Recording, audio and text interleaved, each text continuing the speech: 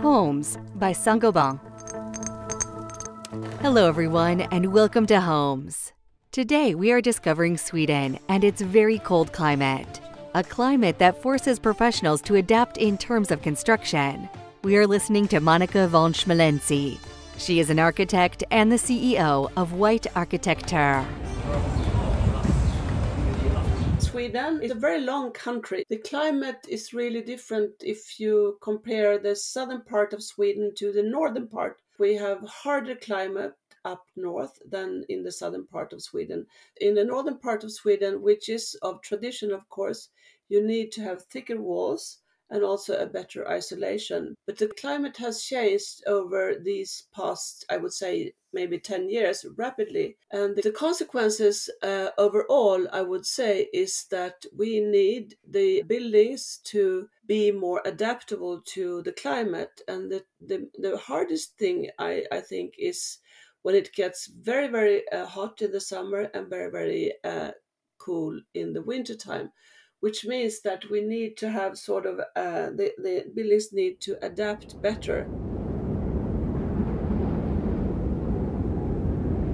We know that old traditions such as wood, for instance, and with good isolation, is very good for the climate and it also keep the cold uh, winter out. I think that we need also to go back to more robust system such as natural ventilation and also to see how you orient different parts of the solution of an let's say an apartment that means that you need to have cooler in the bedrooms than maybe in the living room so we have to face that but also to see that when we as architects design the buildings we need to have different ways of how to use uh, shadows and also to use sort of how we can cool that with kind of water system but also to make the uh, have natural materials that can adapt better to to the climate and also to the well-being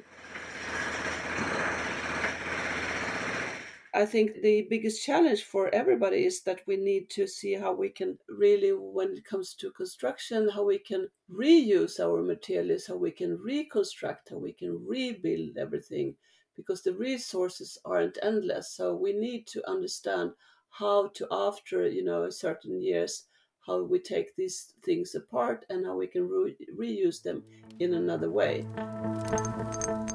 This is the end of this episode. Thanks to Monica von Schmalensee for this journey in Sweden. And go to other episodes to better understand the local issues of homes.